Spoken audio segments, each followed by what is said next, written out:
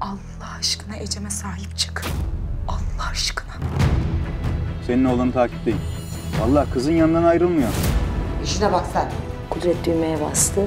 Planı tıkır tıkır işletiyor. Hakkında soruşturma açmak zorundayım. Şu senin avukat mahkemede iyi şov yaptı.